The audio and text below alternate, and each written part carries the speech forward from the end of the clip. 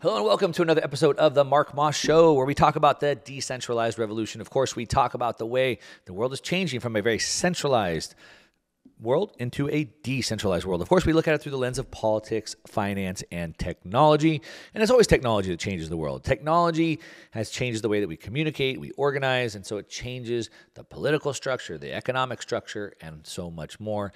And the big changing technology that we have right now that's changing the world is Bitcoin.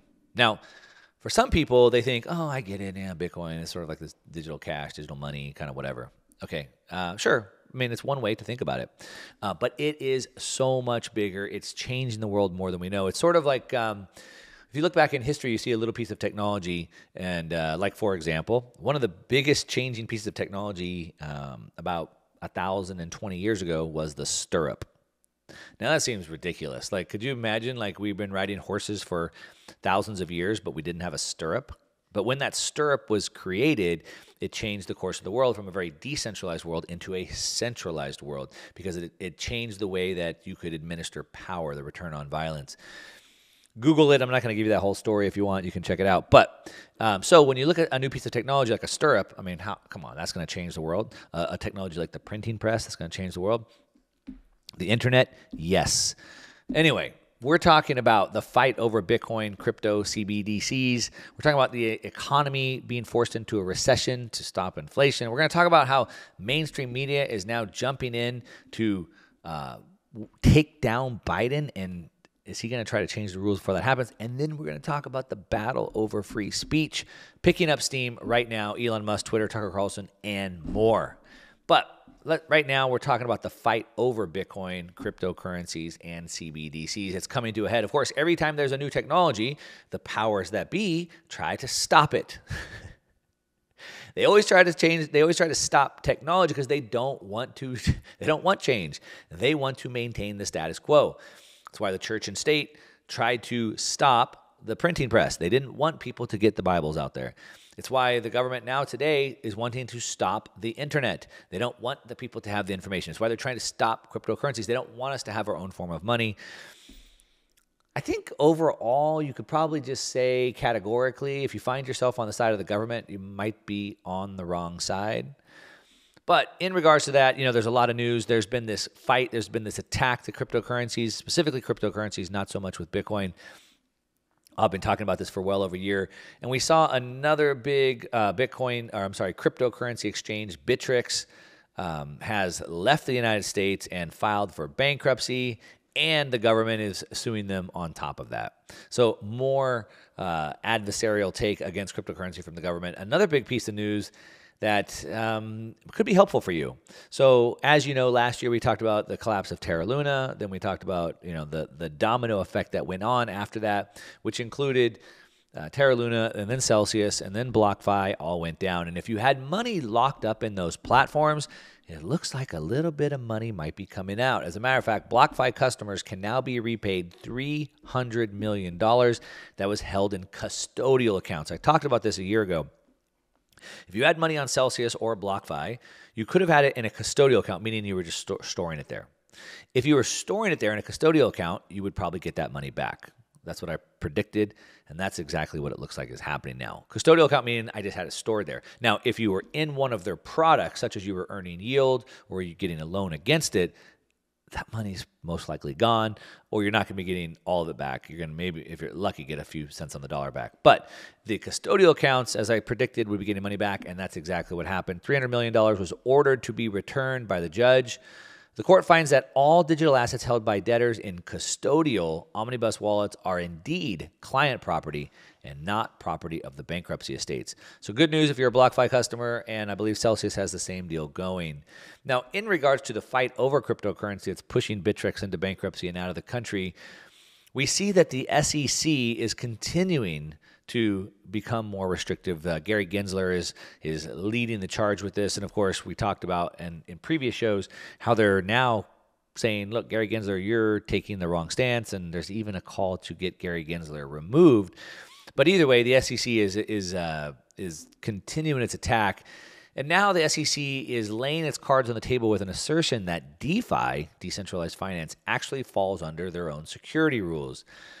As a matter of fact, it says that unless Congress legislates otherwise, U.S. oversight will hold most of the crypto world inside the SEC's jurisdiction as the agency moves to make its reach increasingly explicit. So, unless Congress legislates otherwise, pretty interesting uh, choice of words there because I thought I lived in the United States. I thought I lived in the land of the free. The land of the free means that we're free to do everything unless there's a law that says we can't do something. You see, laws prevent us from doing things, they don't give us permission. So I thought that was pretty interesting. There's how, how, that choice of words went, unless Congress legislates otherwise. Now, there's been, a, like I said, a full court attack. We've also been seeing an attack on Bitcoin mining specifically. We've talked about this in Texas. The New York Times did a big hit piece on Bitcoin mining there in Texas. We saw um, in in the state of New York they're attacking Bitcoin mining, and so it's really coming under attack. We've seen the opposite, though, now here, where in Montana, they actually ratified legislation. They passed a bill that actually protects Bitcoin mining. It protects the right to mine Bitcoin, which is a, a big win for sound money in the Midwestern state. Now, think about this the United States is not a democracy. You've been lied to. Do you remember growing up as a kid, uh, Pledge of Allegiance and to the Republic for which it stands? The United States is a republic. What does that mean?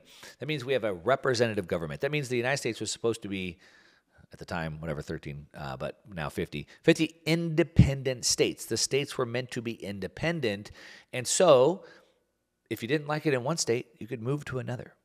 The president is not really supposed to matter in our lives that much. The president, most if we were still in this constitutional republic that we're supposed to be in, most of us shouldn't even care about the president that much. The governor would be the one that we'd care about the most because we live in the states. And so what we're seeing is sort of a return to the states' rights, and we're starting to see this big difference between the states.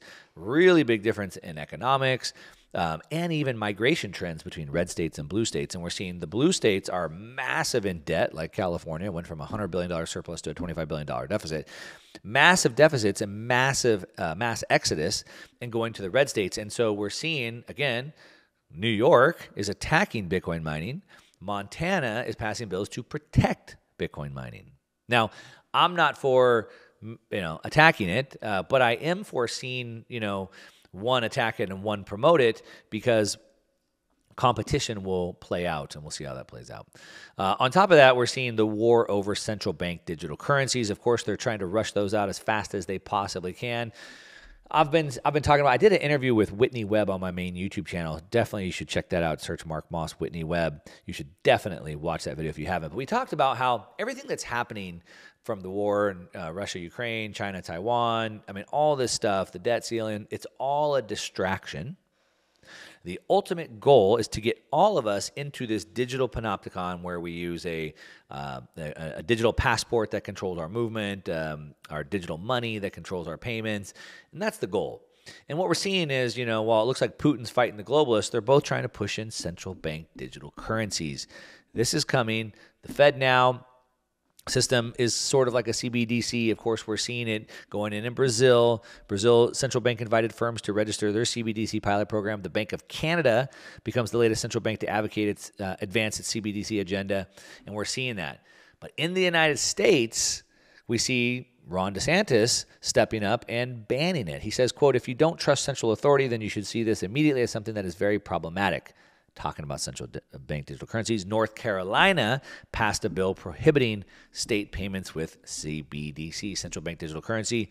I recently interviewed uh, presidential candidate Vivek Ramaswamy, and he's running on this platform. We see uh, Democratic uh, candidate.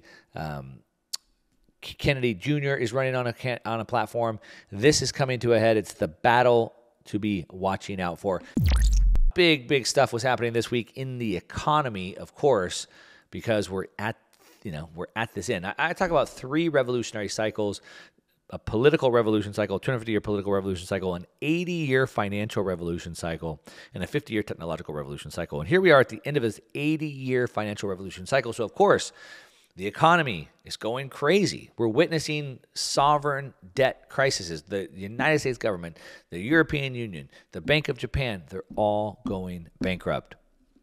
And so, as they're going bankrupt, they're printing more money. It's pushing inflation sky high. And of course, we're seeing that in the United States. The Fed has been on this war path to stop inflation by raising rates at the fastest rate in history. We talk about this all the time. And good news, good news, it looks like they're winning. It looks like the data is showing that CPI, the consumer price index, it looks like it's coming down. Congratulations. We're all the way down. I believe last September we were a high of 9.1. And the latest data that came out this week shows we're down to 4.9%. I think that's 10 months now of consecutive year over year decline. Woo! Congratulations. Uh, good job to the Federal Reserve. I have, uh, let me see. Let's do this. There we go. Uh, good job. Good job, Federal Reserve. Congratulations. Now, if you watch my main YouTube channel, you know uh, I did well. I did a video I think in January, and I talked about how they were going to change the way they calculated CPI. And I said just changing the way they were gonna going to calculate CPI, if nothing else changed, but just change the way we calculate it, we're going to see CPI dropping drastically. And I said by the end of the summer, it could be down by three percent. So here we are, surprise, surprise, and we're down to 4.9 we're trending down. And I think that new calculation is helping quite a bit. What is that new calculation? Well, basically, what they were doing is instead they would typically take a two year comp, a two year comparison, and they change it to a one year comparison. Now, why does that matter? Well, because if you look back to last year at the highest point in 50 years and you measure from there, well, then it looks like we dropped a lot because you're measuring from the very peak that we've ever been. On a two year drop, on a, I'm sorry, on a two year average, you wouldn't have seen that as much. So we have come down. How, how, however, however, let me, let me put this into perspective. The CPI is a basket. It tracks the basket of goods through time, so it tracks your quality of life. So back in 1980, they went to the grocery store and they had a basket of goods: steak, milk, cheese, etc. And then they're supposed to track that basket throughout time to see how the prices change. However, they constantly change the basket. They constantly change the way they calculate it. So, Shadow Stats is a is a website, a company that tracks the original basket of goods through time. And according to Shadow Stats, uh, real world inflation is down to 12.9%, down from a peak of 17.3% in June of last year. So not the 4.9% they're telling us, the 12.9% is the real number. But actually, while that's the real number, going back to the original calculation, to the original basket of goods, it's not the same for everybody measuring inflation that way is sort of ridiculous because inflation affects us all differently. If you're living in your parents' basement watching Netflix and eating Taco Bell, inflation hasn't barely touched you at all. If you're buying lakefront property in Austin, Texas, sending your sending two or three of your kids to college or putting them through weddings, inflation has ravaged you, right? Homes on homes on the lake in Texas have gone up 150%. So if you're buying that home, then inflation is massive for you. And again, if you're living in your parents' basement, it hasn't even affected you. So inflation is different for all of us, depends on what you buy. I eat steak all the time. So inflation has affected me more. What the CPI basket does is say, well, people aren't going to buy steak now. Now they'll buy hamburger meat. And now they won't buy hamburger meat anymore. Now they'll eat tofu. Well, I'm not. I'm going to continue eating steak, so it's affected me more. And it affects all of us differently based off of the things that we're buying and based off the proportions and things like that. So just know that the even the shadow stats number, while it's accurate and true to the way it used to be calculated, it's not accurate and true for every one of us. In addition to that, uh, while there seems to be taking uh, while it seems that the Fed's attack on inflation is somewhat working, bringing it down from 9.1 to 4.9, it's not without damage to the economy. As a matter of fact, you know, that's their whole goal is to make everybody broke because if they make you broke, you don't have enough money to buy things. If you don't have enough money to buy things, then they hope prices come down. However, it's effect when when they make everybody broke, you also don't have money to buy goods and services from businesses. And so it's been very very bad for the economy. As a matter of fact, the small business index, the optimism index just hit a 10 year low. It fell by uh, 1.1 points in April to 89, hitting the lowest level in just over 10 years. As business owners reported dampened expectations for the broad economy, sales, and earnings. The biggest source of concern was the labor market, with 45% of owners reporting job openings they couldn't fill last month, compared to 43% um, in March. And inflation was a close second, as 33% of owners said they raised average selling prices. So that's the big concern. Uh, the labor market, they can't. Um, they can't fill the job openings, and then they're having to raise their prices. And I've been seeing in a lot of cases, they're saying that, look, we've been raising our prices, raising our prices, raising our prices, because obviously we can't sell our stuff at a loss, but people don't want to pay it. And so, what does that do? It slows down the economy. Of course, it's not rocket science, right? In addition, it's taking a toll. Um, it, it, takes a toll all across the ecosystem. And so, for example, those businesses now can't afford their rent. We're seeing in New York City, there's so many office buildings empty. It's about 50% of where it was pre pandemic. They said that you could get 26 Empire State buildings into New York's empty office building space. 50% occupancy. Now, if you're a building owner or you're a pension fund or your, your retirement account is invested into a group that has invested into these, these REITs and these funds, you're taking a big, big loss. San Fran, downtown San Francisco is not much different. There's 18.4 million square feet of empty office space. Now, part of it is because businesses have been hammered. Part of it's also because nobody, they don't want to stay in San Francisco anymore. Everybody's bailed out of there.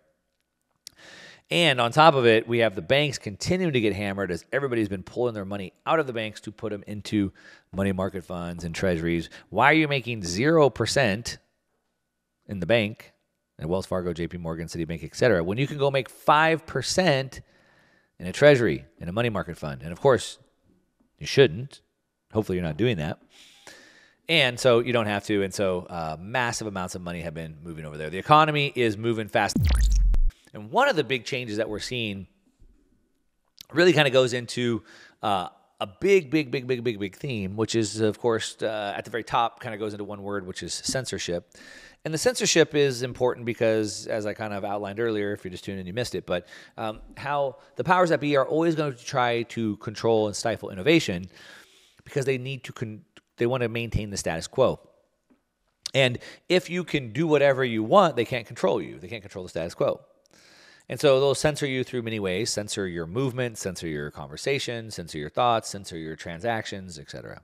Right. Censorship, control, same thing.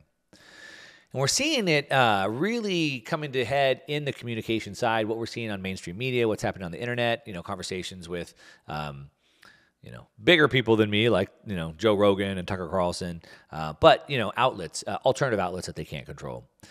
And what's interesting I saw this week is it seems like we're starting to see this big shift where we have, you know, the powers that be, um, the Biden, Obama, Biden administration, as I like to call it, um, that are the incumbents that are trying to maintain this power. But all of a sudden, it's starting to look like mainstream media might be turning their back on good old Biden. Now, I don't know if that is uh, part of my, you know, uh, conspiracy hat is like uh, maybe the powers that be that control that party. Obama wants to get Biden out now that he's committed to another uh, term. Oh, oh, no, no, no, you're not. Let's get you out. Or is it that we're really seeing a shift in just uh, truth and reporting? I don't know. I'll leave you up. I'll leave you uh, up to decide. But of course, I'd love to hear from you. Reach out, hit me up on social media at one Mark Moss. Let me know what you think about that. Is it that uh, they're starting to throw him under the bus to get him out, or is it that this is just a bigger shift that's happening in media? But what we saw this week was a ton of stories coming out. Uh, oversight committee. Biden family business received over 10 million from Romania, China for unknown work. It says in total, Biden family members and business associates designed a web of over 20 different companies, many of which which were formed during Joe, Biden, Joe Biden's vice presidency. The committee revealed the funds appear to contradict Joe's claims that his family received no money from China. Now, this shouldn't be a big surprise to some people if you've been paying attention because we've seen this. I mean, Tucker Carlson had on somebody who worked for the Biden family and blew the whistle on all this. And he had the names, the dates, the receipts, you know, where the bodies were buried, so to speak. Uh, so, you know, I think it's been blown wide open. We've seen what's going on with Hunter Biden, Burisma in, in, in Ukraine. And like I said, You've seen the uh, 10 for 10% for the big guy, so to speak, right? So we've, we've known this, but now it's really starting to see the light of day. Uh, Jim Jordan, he's uh, one of the few people in in uh, government that I still somewhat respect. Uh, Jim Jordan reveals that there's 170 suspicious activity reports; those are what's called SARS reports, um, surrounding the Biden family. 170. Now, you know, there's that saying: "Where there's smoke, there's fire." Yeah, something like that. That's a lot of smoke. they had a, they had a full press conference where they had a whole bunch of members of of, uh, of the government, you know, up there uh, up on stage. I don't know why they need so many people on stage when they do the deportments anymore, but um, he basically he, he basically said how there was this 170 uh, suspicious reports there. Um, everybody in the family is getting in a piece of action, and he posed a fundamental question that's yet to be answered, and that is, what did they do to warrant the receipt of millions and millions of dollars? It's a good question. It's a good question that we've been asking from the beginning. When President Biden was still Vice President Biden, he flew on Air Force Two on official business over to China. And he took his son, Hunter, on the plane with him on official business to China. And upon their return, Hunter Biden had received money from I believe the PBOC, someone directly in China, for a fund that he was running. And I believe it was the first time that an American fund had received money directly from China. And what did that fund buy? Oh, that would be American uh, military stuff. So, what did he receive that money for? That's always the question, right? And if you watch any murder mystery or you know TV show, whatever detective show, it's always follow the money, right? So back to Jim Jordan's question: What did they do to warrant the receipt of millions of dollars?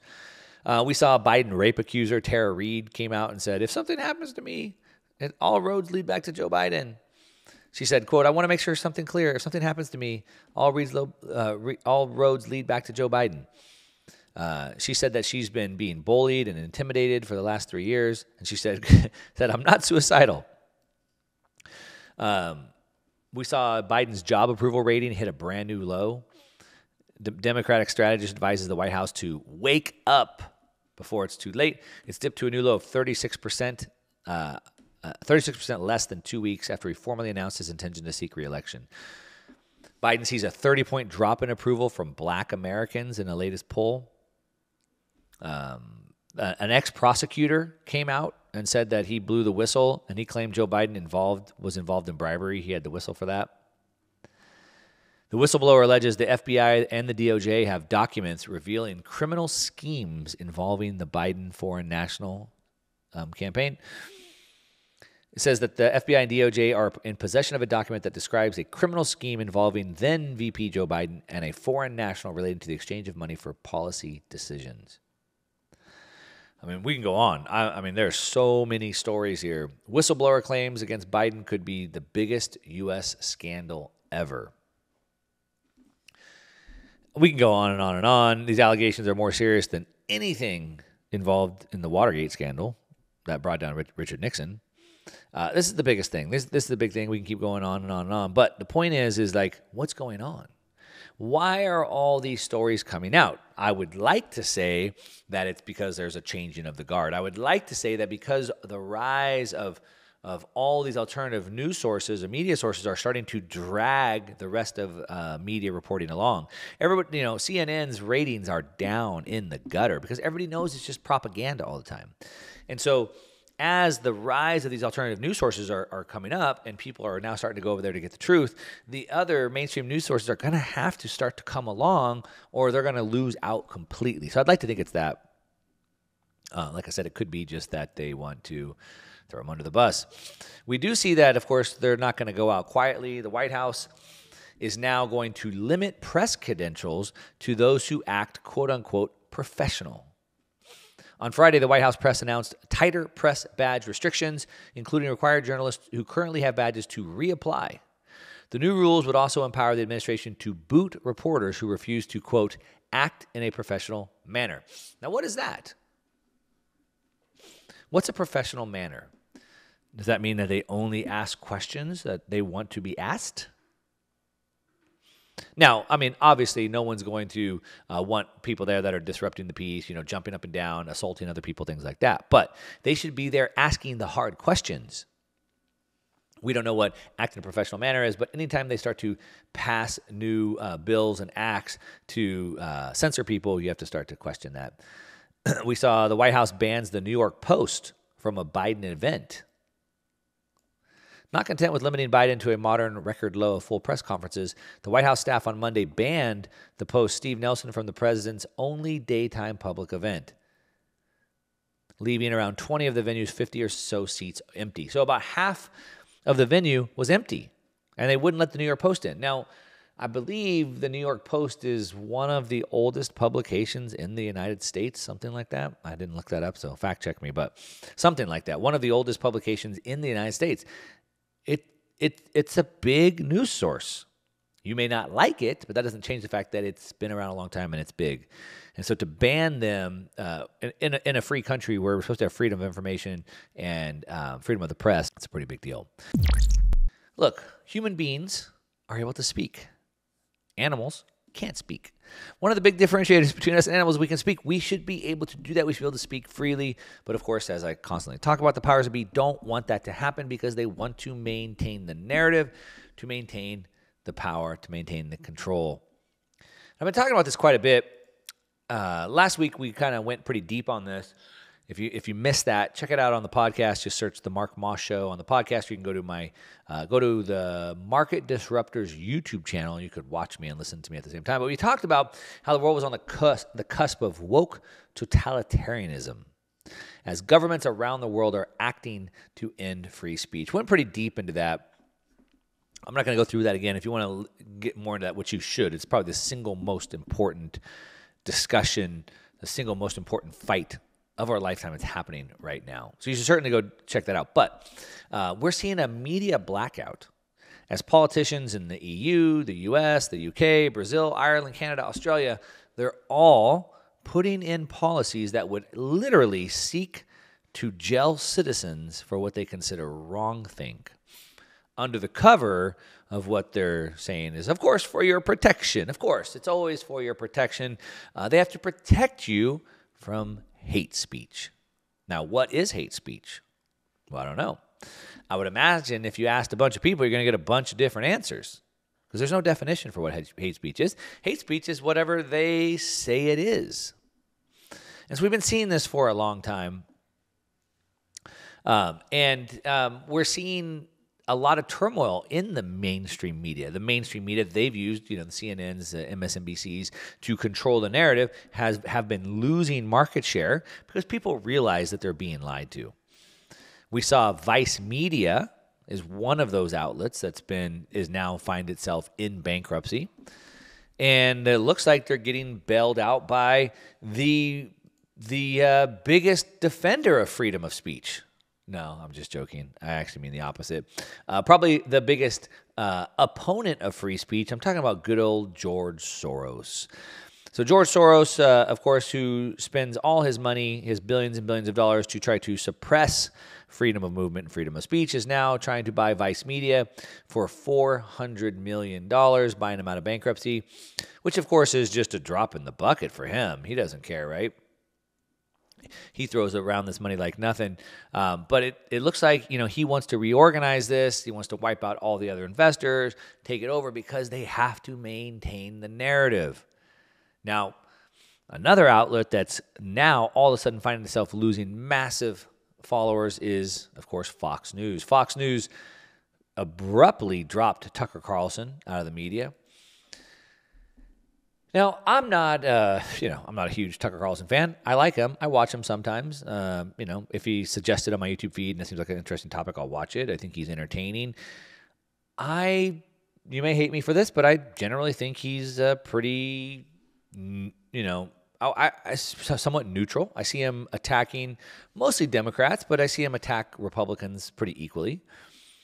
Uh, there was this big, uh, you know, uproar not too long ago because he had come out pretty strongly saying he didn't like Donald Trump. He might have even used uh, harder language than that. So, you know, he said he doesn't like Donald Trump. He's been, you know, pretty hard on, on Republicans. He's against Democrats. I think, to me, Tucker Carlson seems like he's more for common sense. I know um, CNN ran a piece I saw this week calling him extreme right wing. Um, okay, I guess if common sense and freedom, um, if questioning the narrative makes you extreme right wing, I don't know. If you have some feedback on that, uh, I'd love to hear it. I've seen people, you know, posting online that you know he's he's the perpetrator of hate speech. I'd like examples of that. But anyway, love him or hate him, uh, he's the number one draw on TV. And of course, he's been taking it hard. People have asked me in some other interviews why I think Tucker Carlson was dropped. I would say either one, because he went against Big Pharma. Uh, Pfizer is like a sponsor of all these shows now. And he was uh, talking about the data that's been coming out, showing how they basically were pushing pushing this this medicine on people that had been untested and, and was harmful. So that that certainly could have got him kicked off the air. There was this big Dominion thing. He talked a lot about the election. I think another big thing that probably had a lot to do with it was um, releasing the January 6th videos. Because again, going back to controlling the narrative, I think that was a really, really big piece. They were trying to control the narrative on, you know, the whole um, insurrection and the Donald Trump, and then of course using that to restrict even more free speech. And so uh, by showing those videos, he blew that wide open. Um, so it could have been any number of those. It could have been put, put could have been all of them collectively. Either case, uh, he got dropped. Now. Reportedly, they want to pay him. Fox News wants to pay him $20 million a year to do nothing until 2025. So effectively silence him. You see this a lot of times with big businesses that are trying to corner the market. They might buy a smaller brand and then just shelf it. And this is seemingly kind of what they want to do. They're just going to keep his contract in, in place, but not allow him to talk anymore. So pay 20 million a year to silence him. But in this world of decentralization, it's not really that possible anymore. And as a matter of fact, Tucker Carlson announced in a tweet that he is going to start putting content out on Twitter, which I thought was pretty interesting the post that he put up talking about how mainstream media lies to us. It was it was interesting post. He talks about how mainstream media tells you the truth that any fact checker would tell you is the truth, but it's a lie because they've omitted lots of information, they've withheld information, so they control the narrative. So even what they told you would pass a fact checker's um, check, uh, it's it's it's actually dishonest because of the stuff they withhold. It was it was a pretty good clip, and in that clip, he got over 100 million views. Pretty amazing. And he talks about coming back onto Twitter and using that platform. Now, I'm guessing somewhere in his contract it says he couldn't do something like um, you know go onto another news network, whether that be online or TV, whatever. So there's probably a lot around that. But it probably didn't say he can't post on social media because probably don't think about doing that. And now we have Twitter that seemingly kind of standing up for some free speech.